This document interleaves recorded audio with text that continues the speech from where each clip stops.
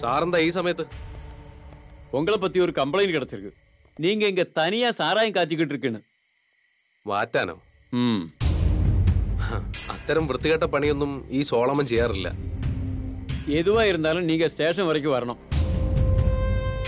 உங்களை கஸ்டடி எடுத்து விசாரணை பண்றதுக்கு மேல இருந்து உத்தரவு வந்திருக்கு ആ ഉത്തരവ് നാലായിട്ട് മടക്കി ഈ അയച്ചവന്റെ അടുത്ത് എന്നെ തിരിച്ചയച്ചേക്ക് ഞാൻ ഇങ്ങോട്ട് വരുന്നില്ല சோளமா சும்மா பிரச்சனை பண்ணாத എന്ത് പണിയാ സാറേ ഈ കാണിക്കുന്നത് ഇനിയും സോളമനം ദ്രോഹിച്ച് മതിയായില്ലേ எங்களுக்கு என்ன பண்ண முடியும் மேல இருந்து உத்தரவு வந்தா நாங்க அது பண்ணித்தான் ஆகணும் ഞാൻ വരുന്നില്ലെങ്കിലോ உங்களை கட்டாயப்படுத்தி தூக்கிட்டு போவேன் എന്നിട്ടും വരുന്നില്ലെങ്കിലോ நீ வரும் இவனை தூக்கி வண்டியில போடு ഏയ് ഏയ് ആ കളിയൊക്കെ അങ്ങ് കയ്യിൽ വെച്ചിരുന്നാ മതി ഒരു തെറ്റും ചെയ്യാത്ത നിരപരാധിയായ എന്നെ മനഃപൂർവ്വം കൊടുക്കാൻ വേണ്ടിയിട്ടാണ് ഈ നാടകം അല്ലേ കാര്യങ്ങൾ ഞാനും കൂടെ ഒന്ന് അറിയട്ടെ ആരാ പരാതി തന്നത് ദേവനാണോ தேவரில்ல വേറെ യാരോ മേലെ നല്ല പൊടിപാടുള്ളവൻ താ ഓ അപ്പൊ കളി അങ്ങനാണ്.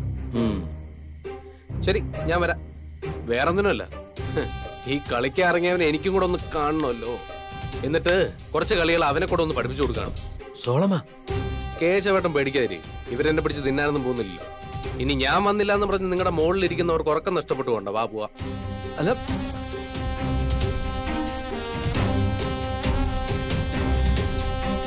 സോളമൻ എവിടെയെന്ന് പറ. അവനെ പോലീസുകാർ കൊണ്ടുപോയി. കള്ളക്കേസാ. ഞാൻ വക്കീലിനെ വിളിച്ച് പറഞ്ഞിട്ടുണ്ട്. ഉടനെ ഇറങ്ങും. ഇപ്പൊ ആലോചിക്കുമ്പോ എല്ലാം തമ്മിൽ എന്തൊക്കെയോ ബന്ധമുള്ളതുപോലെ സോളമൻ ഇവിടെ ഉണ്ടാകരുതെന്ന് ചിലരൊക്കെ ആഗ്രഹിക്കുന്നത് പോലെ. കുഴപ്പം വല്ലതും? എന്തു കുഴപ്പം? ഇവിടെ മോളെ ശല്യം ചെയ്യാൻ ഒരുത്തനും വരില്ല. വന്നാലേ നല്ല ജീവനോടെ ഒരുത്തനും തിരിച്ചു പോവില്ല. അതിനുള്ള വഴിയൊക്കെ ഈ കേശവൻ അറിയാം.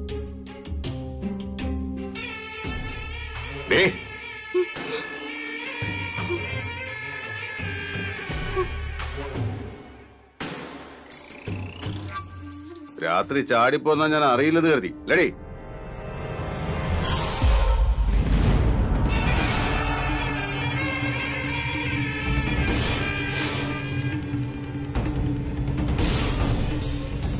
ചെന്ന് വണ്ടി കയറി. തന്റെ വിരട്ടലും ബഹളം വെക്കലൊന്നും ഇവിടെ വെച്ച് വേണ്ട. അത് പറയാൻ നമ്മളാരാണാവോ? ഈ നിൽക്കുന്നതേ എന്റെ മോളാ.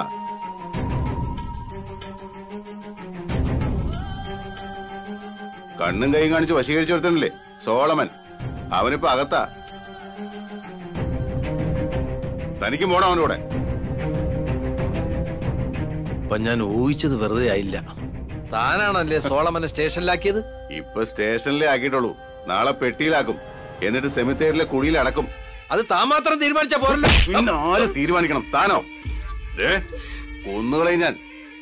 തനിക്കെന്നെ ശരിക്കും അറിയില്ല ജെയിംസേ അവളെ പിടിച്ച് വണ്ടി കയറി. വടി. പോയി കയറി വണ്ടിയില്ല അവളെ പിടിക്കരുത്. ദേ, കൊണ്ടുപോകരുതെന്ന്.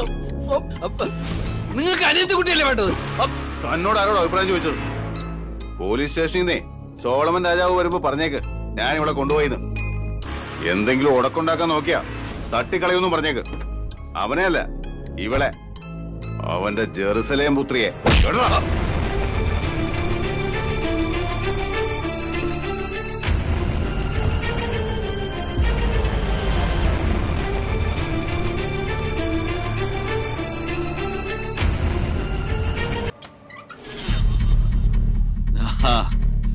എന്താണ് മാമയും മക്കളും കൂടെ?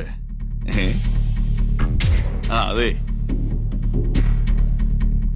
സോഫി ഇന്നായതുകൊണ്ടാ. രണ്ടേ രണ്ടെണ്ണം. കല്യാണം കഴിഞ്ഞു കഴിഞ്ഞാൽ പിന്നെ ജെയിംസ് അശായൻ കുപ്പി കൈകൊണ്ട് തുറത്തില്ല ഇതൊക്കെ എന്തിനാ എന്നോട് പറയുന്നേ? നിങ്ങൾ തൊടുവോ തൊടാതിരിക്കുകയോ ചെയ്തോ? അതൊന്നും എനിക്കറിയണ്ട.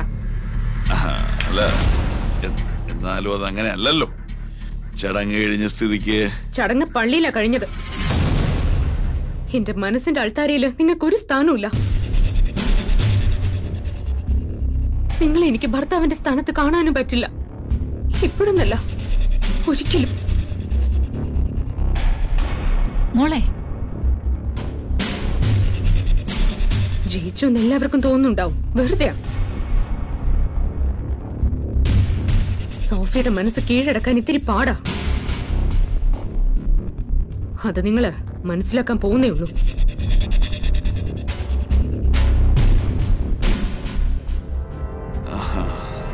ഒരു നല്ല ദിവസമായിട്ട് ഞാനേതായാലും തർക്കിക്കാനില്ല.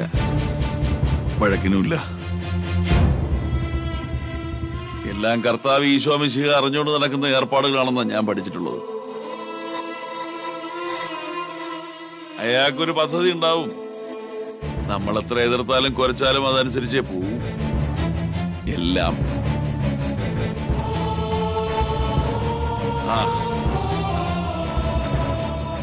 കേട്ടോ മീ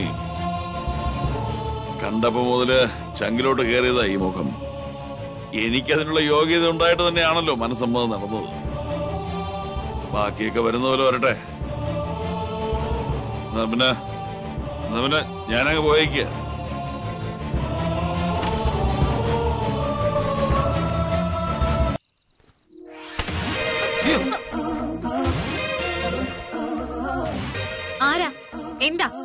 അത് ശരി. എന്റെ മുറി ഒന്ന് കടന്നിട്ട് ഞാൻ ആരാന്നു ജോസൂട്ടിയാണോ നീ ആരാ? അപ്പം അമ്മ ഒന്നും പറഞ്ഞില്ലേ? മമ്മ. മമ്മ. ഇനി മമ്മയെ വിളിച്ച് ശല്യം ചെയ്യണ്ട. ഞാൻ പരിചയപ്പെടുത്താം. ഞാൻ ട്രീസ. ട്രീസ ഇമ്മാനുവൽ.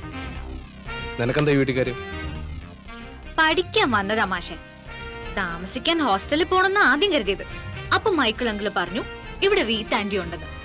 ആന്റിയുടെ വീടിങ്ങനെ പണ്ടും പറമ്പ് പോലെ ഒഴിഞ്ഞു കിടക്കുമ്പോ ഞാൻ ഹോസ്റ്റലിൽ നിൽക്കേണ്ട കാര്യമില്ലാത്ര വീട് ഓക്കെ അല്ലെങ്കിൽ ആ നിമിഷം ഞാൻ സ്വയം ഗെറ്റ് ഔട്ട് അടിക്കുന്ന പറഞ്ഞിട്ടാ പോകുന്നത് വന്നപ്പോ ഇഷ്ടായി. വീട് മാത്രല്ല ആന്റി. എന്തൊരു മറവി എനിക്ക്. എടാ ജോസെ പരിചയപ്പെട്ടോ ഇവിടെ നമ്മുടെ ഭരണങ്ങാനത്തെ മൈക്കിളില്ലേ? മൈക്കിളിന്റെ അനിയത്തി ഒരു മേരി ഉണ്ടായിരുന്നല്ലോ മേരിയുടെ മോള. സോറി കേട്ടോ മോളെ. നീ ഇവിടുള്ള കാര്യം ഇവനോട് ഞാൻ പറയാൻ മറന്നുപോയി. ഈ ഇടയായിട്ട് ഓർമ്മിപ്പിച്ച കുറച്ച് കൂടുന്നുണ്ട്. പ്രായത്തിന്റെയാ. ഏ ബന്ധുക്കൾ വരുന്നതിനോ താമസിക്കുന്നതിനൊന്നും ഞാൻ എതിരല്ല പക്ഷെ അവർക്കെന്തിനാ ഈ മുറി കൊടുക്കുന്നു അത് ആന്റിയെ വഴക്കു വരേണ്ട ഞാൻ വാശി പിടിച്ച് വാങ്ങിച്ചെടുത്തതാ ഈ മുറി. കറക്റ്റ് ആംബിയൻസ് ഇതിൽ. പഠിക്കാൻ നല്ല മൂഡ് കിട്ടുന്ന സ്ഥലം. ആന്റി അപ്പോഴേ പറഞ്ഞതാ ഈ മുറി ഇയാളുടെയാന്ന്. വരുമ്പോഴല്ലേ? അപ്പം നോക്കാൻ ഞാനും പറഞ്ഞു. ഇങ്ങനെ നട്ടപ്പാതിരാക്കി എടിപിടിന്ന് കോരി വരുന്ന ആരെങ്കിലും അറിഞ്ഞോ? ഇവന്റെ ഒരു പതിവിതാ. രാത്രി വരും വെളുപ്പിന് പോവും. കള്ളനാണോ? അല്ല വരവും പോക്കും അങ്ങനെ ആയിട്ട് ചോദിച്ചെന്നേ ഉള്ളൂ. ഇനിയിപ്പോ എന്താ ചെയ്യേണ്ടത്? ഞാൻ ഈ മുറിയിൽ തന്നെ ഉറക്കം കണ്ടിന്യൂ ചെയ്യണോ? അതോ മാറിത്തരണോ മമ്മ എനിക്ക് ഇവിടെ കിടന്നാലേ ഉറക്കം വരുള്ളൂ. താഴെ മുറി ശരി ഓക്കെ അപ്പൊ ഞാൻ മാറാം. ഒരു രണ്ട് മിനിറ്റ്. ഞാൻ നേരത്തെ പറയേണ്ടതായിരുന്നു ഇവനോട്. അതൊന്നും സാരില്ല ആന്റി. ആന്റിയുടെ ഔദാര്യത്തില ഞാൻ ഇവിടെ രാജകീയമായി കഴിയുന്നത്. കേട്ടോ ജോസൂട്ടി? നിർത്തിക്കൊണ്ട് പറയാണെന്ന് കരുതരുത്. എന്ത് രുചിയാ ഉണ്ടാക്കുന്ന ഓരോ സാധനത്തിനും?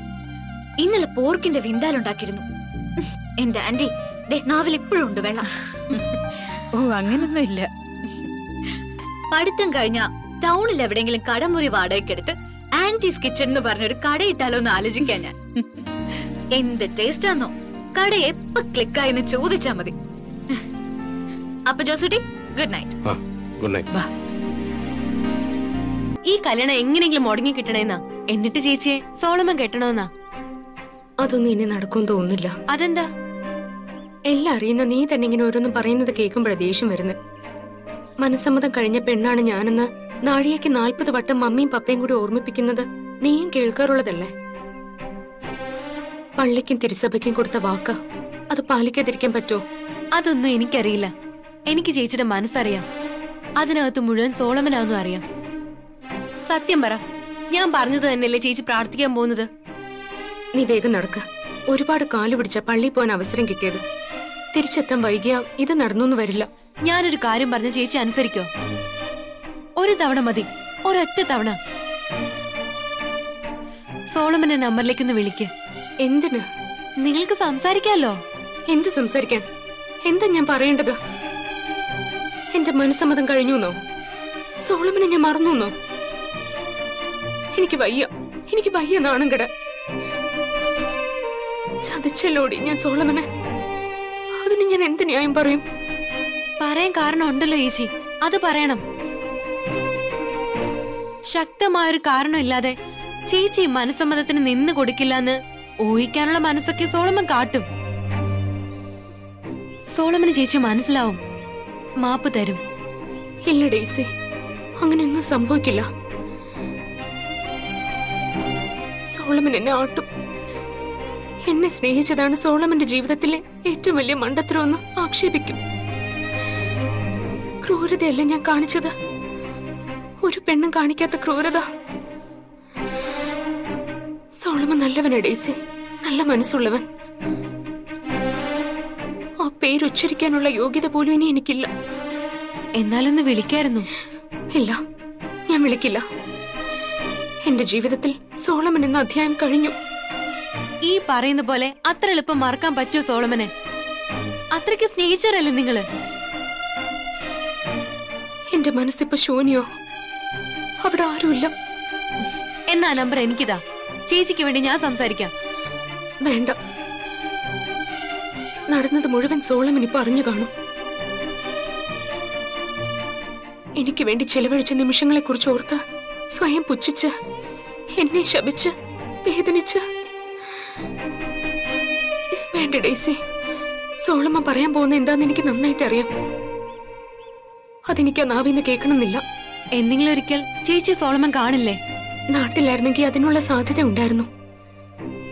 ഇവിടെ സോളമൻ എങ്ങനെ വരാനാ? അത് കഴിഞ്ഞു ഡേസി? എന്നേക്കുമായി അവസാനിച്ചു.